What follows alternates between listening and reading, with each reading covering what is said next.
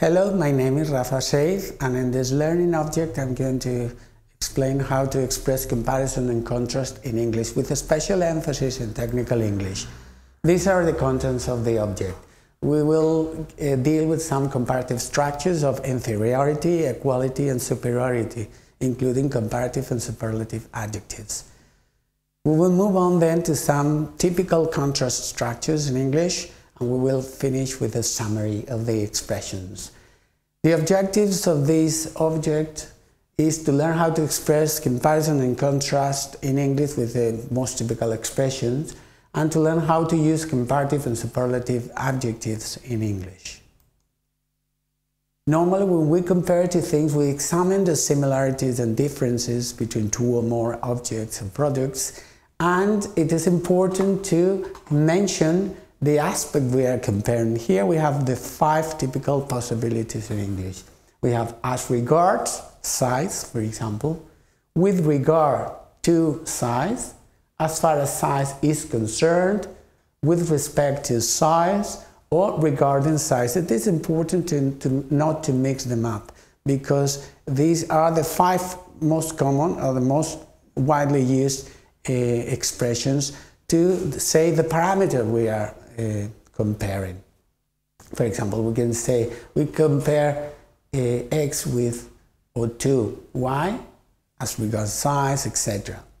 And when we're, talk, we're talking about similarities, we can use different expressions. Normally, as, as, or identical to, similar to, the same as, or like, hmm? as we will see in a minute. Another possibilities are with the verb resemble or like or to have in common, as we can see here. It is important to note that when we are using as plus as, in the middle we use a, an adjective. If we're using a noun, that's important to note. Um, we make a difference between much for uncountable nouns or many for countable nouns. So, to express inferiority in English, we use less plus the adjective plus than, or not so as plus the adjective plus as. Remember to use the right particle, than or as. Here we have examples. The front door is less wide than the rear exit. Economy seats are not as comfortable as business ones. Or this aircraft is not so reliable as the Concorde. When we are talking about equality, as I said, we normally use as, the adjective as as. And if in the middle of as and as we use a noun, it must, we must include much with uncountable or many with countable nouns. We can also use the expression the same something as. And as is the particle, no that or than. Here we have mm, typical examples. European aircraft are as efficient as American ones. The upper deck has as much capacity as the lower deck. Uncountable now. Partition A offers as many seats as partition B. In this case, we have a countable noun. Boeing has approximately the same revenue as Airbus. The most difficult comparative structures are those of superiority. And here we make a typical um, difference taking into account the, uh, the rule between short adjectives and longer adjectives. For short adjectives, we use the suffix er, than. The Concorde was higher than the Boeing 747. For longer adjectives, we use the word more than. This equipment is more expensive than usual. For superlatives, when we use a superlative, we, are, we say that one product or object has the highest level of uh, property in a group. We also differentiate between short adjectives, in which case we use the plus the suffix est, or longer adjectives with the most plus the adjective plus in or of. The examples here are clear as well. The Concorde has the fastest, short adjective, commercial aircraft in the world. Or for longer adjectives, this is the most expensive material of the aircraft. We must remember some uh, irregular comparative adjectives. These are the most typical, typical ones in English good, bad, far, old, much, many, or little. The first column in black is the comparative, the irregular comparative, and the second one is the irregular superlative with the normally. Between older and elder, there's a difference. Older is the general adjective, and elder is normally restricted to um, age of people, for example. Now we're going to move on to some typical contrast structures in English.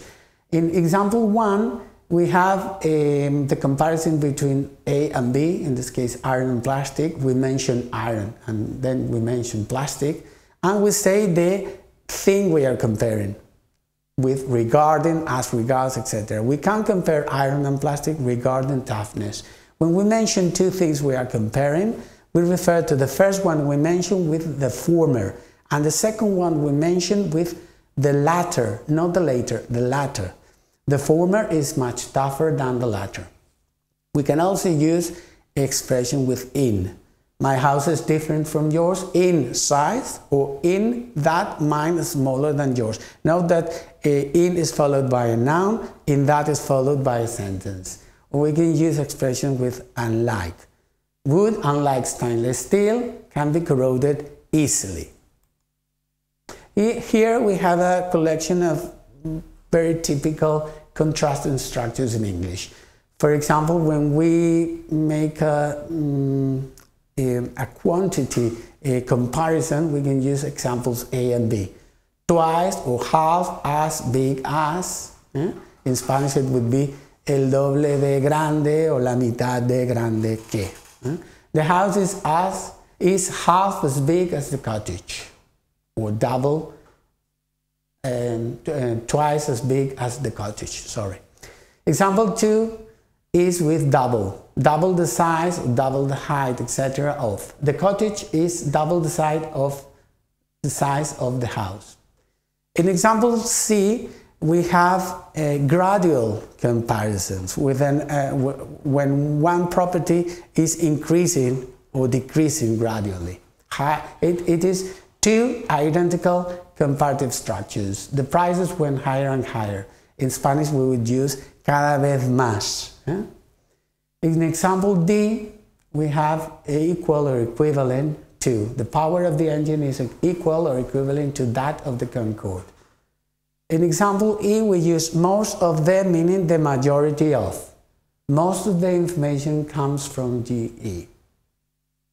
In F, we have a, another typical expression, the most commonly or the most widely used. PowerPoint is the most widely or commonly used program here. We can use also the expressions with such. This is such an important thing that we cannot forget it. This is typical expression. And remember, lastly, that you can also use more uh, uh, compar these comparative structures with adverbs. She works more easily without computers. Normally, uh, an adverb would be a longer um, word, so we use more um, rather than here. Here we have a summary of the most typical comparison and contrast structures we have seen uh, throughout this learning object. You can have a look at, at them and you, you have the um, uh, examples for them during the presentation. And as a conclusion, it is very important to use the right expressions in English. We have five possibilities of including the aspect we are comparing as regards, regarding, etc. And last, you have to use the specific English expressions rather than translating from your own language, which is always very dangerous. So thank you very much for your attention and I hope that was useful. Thank you.